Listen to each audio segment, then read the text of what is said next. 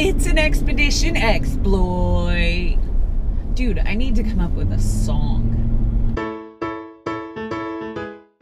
Hey guys, today I wanted to talk to you about the Fat Loss Fast Track, how it went, and do a comprehensive review of the full 12 weeks.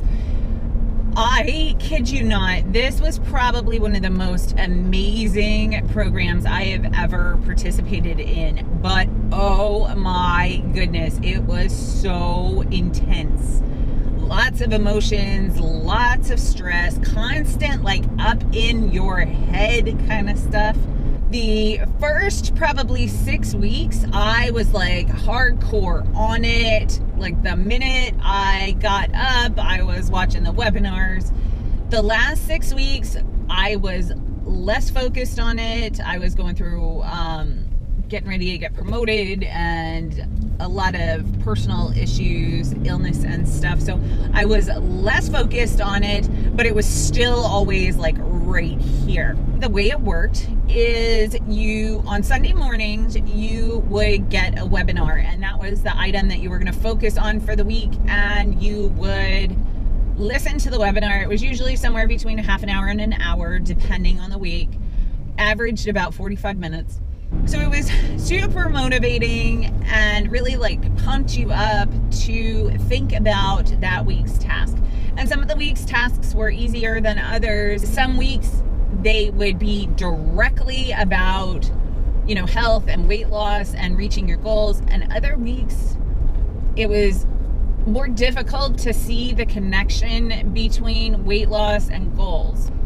But it always had a direct impact on weight loss. Every single, or or health, I should say. The program is designed for anybody who wants to have a better relationship with food. You don't necessarily have to need to lose weight, but if you are somebody who is constantly thinking about food, constantly planning your next meal, or is constantly stressed out by food, this program is for you because it starts to teach you how to deal with those kind of issues.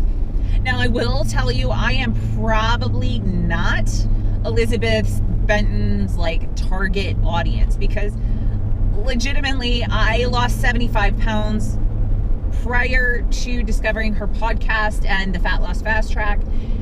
And when I lost that weight, I actually lost a lot of my eating issues.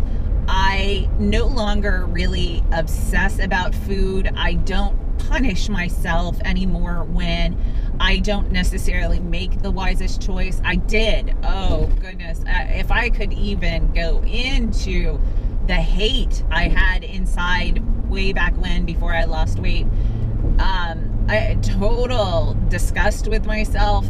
But now I really don't have that. So I literally I lost those when I lost the weight because I realized that one cookie is not going to make or break my diet. And in truth, you know, while on the fat loss fast track, I did have a run in with Girl Scout cookies. And even then, it didn't really impact my weight loss. I was probably one of the smaller weight losses. I, I lost nine and a half pounds over the 12 weeks. But again, my goal, if I had lost five pounds, I would have been ecstatic because I've been I've been trying to lose the last 25 pounds for years. I, I mean, almost two full years I've been trying to lose the last 25 pounds, and I was staying at the constant weight and it just was a solid like two up two down two up two down two up two down. That's just my normal weight cycle.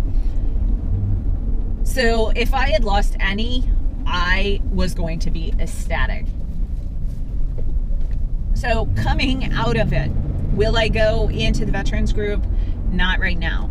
And the reason is 100% financial. We are on our financial journey and that is one of our top goals and while my weight loss is important, I cannot, legitimately cannot justify spending more money on it right now. But I have every intention of going back to it as soon as we are 100% out of debt. Have I changed any of my behaviors because of the program?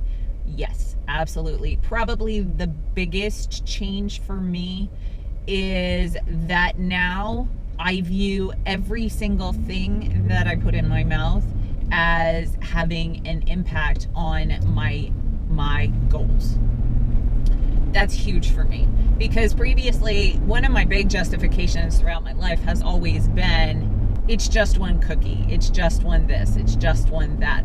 But one here, one there, one in every scenario, they have an impact. And so now, after going through the fat loss fast track, I now look at every single food item as having an impact on my body. For example, in I don't even remember weeks three or four, I completely was off sugar, completely off sugar.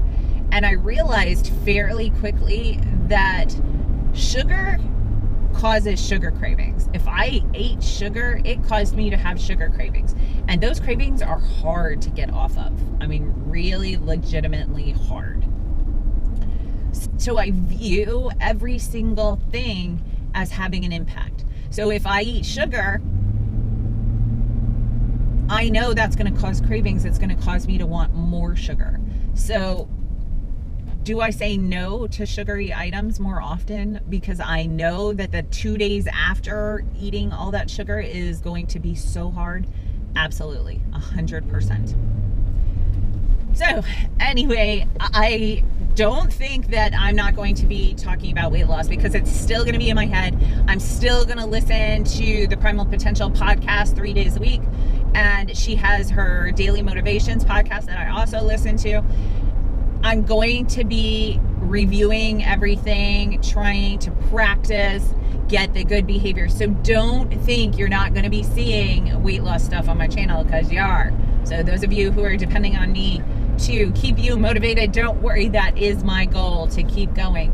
And so make sure you click on my big laughing face to subscribe to my channel and I'm going to put two videos up to keep on watching, and I'll see you in the next one. See ya.